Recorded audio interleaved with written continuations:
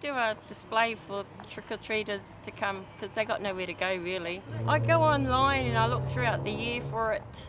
I make some stuff. A lot of it this year came from Look Sharp store online.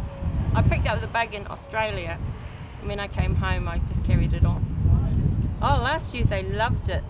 They absolutely loved it. We had heaps of kids. When I came back from Aussie, people were saying to me, no one's going to come, no one does trick or treating in Gisborne. But if you give them something to come to, they'll come.